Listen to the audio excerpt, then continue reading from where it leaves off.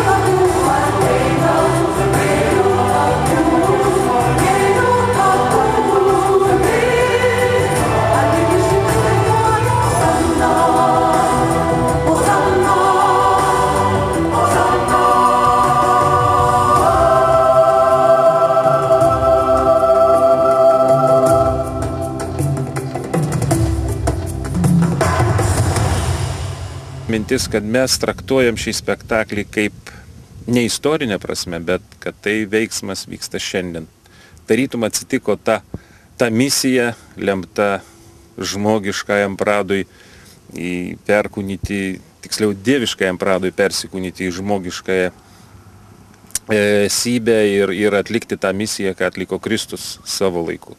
Ir kaip šiandien reaguotume, kas atsitiktų su mumis šiandien, jeigu mes tokią angelo pranašystę išgirstam ir, ir viskas vyksta, ir vyksta tie stebuklai, tie visi, visos tos ir intrigos, ir, ir, ir tie visi, reiškia, ir skaudus dalykai, ir, ir kaip žmogus ištvers, kaip reaguos, tai yra tikrai ir mums patiems įdomu, ir mes norim to pasidalinti su žmonėmis. Aišku, Šiluva yra Lietuvos širdis, Lietuvos bažnyčios širdis, bet e, rugsėjo 11 yra jaunimo diena. Ir kaip žinom, atvažiuos jaunimas iš visos Lietuvos, ateis piligrimai žygis ir jaunimui reikalingo šios vertybės šiandieninė kalba. Aš prašau tavęs. Nusikaltėlį baisų plėšyką, tas kur ištų dviejų man paleisti, duosiu tautai išsirinkti.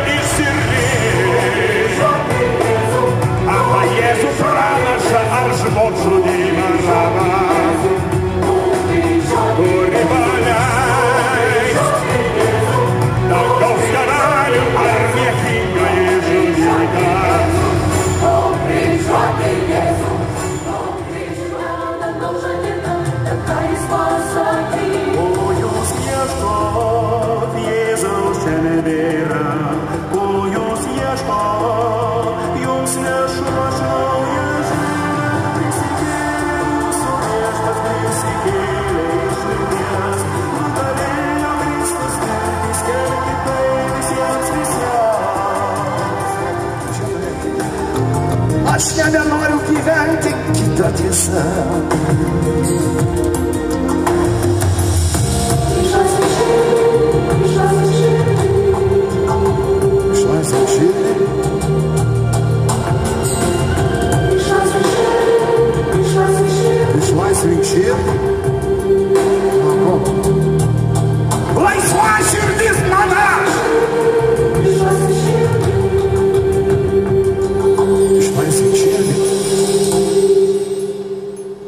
Isaac